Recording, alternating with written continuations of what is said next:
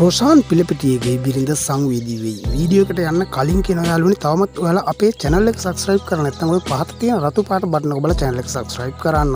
All බට්නක hall කරලා තියාගන්නත් අමතක කරන්නේ ප්‍රෝෂාන් පිළිපිටිය කියවසැනි මුළු රටම දන්න දක්ෂයින් අතර හැමදාම සිටි ජනප්‍රි රංගන ශිල්පියෙක් තමයි රෝෂාන් පිළිපිටිය කියලා කියන්නේ රෝෂාන් පිළිපිටිය ජනප්‍රිය නිලියක් වූ චතුරිකා පිරිස් සමඟ විවාවි සිටි අතර එම විවාහයට තිත තැබීමෙන් අනතුරුව කලක් මානසික ආතතියට ලක්ව සිටි බවයි අපට දැනගන්නට ලැබුණේ. කෙසේ වෙතත් පසුව රෝෂාන් රිත්මා පිළිපිටියත් සමඟ විවාහ වුණ. මෙම විවාහය නිසා රිත්මාට බොහෝ ගැටලුවට මුණදීමට සිදු වූ බවයි ඒ කාලේ අසන්න දකින්නට ලැබුණේ. කෙසේ වෙතත් මේ පිළිබඳව රිත්මා කියන්නේ මෙවැනි කතාවක්. එක්තරා නළුවෙකු නිලියකු ඉන්න අපට පුදුම විදියට මඩ ගහන්න.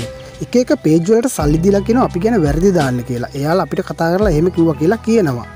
එක්තර පත්තරයකත් මෙයාල අපි කෙන ගොඩක් වැරදි කියලා තිබුණ. හැබැයිතින් කවරු මොනදේකුවත් මයි රෝෂානය ගොඩක් සතුටින් තමයි ජීවත්වවෙන්නේ යනුවෙන් ඇය ප්‍රකාශ කර සිටිය. සියලුම තොරතුරු අන්තර්ජාලයෙන් උපුටා ගන්නා ලදි එහෙමනම් යාලුවේ චැනල් එක සක්ස්්‍රයිබ් කරන්නත් අමතක කරන්න එපා.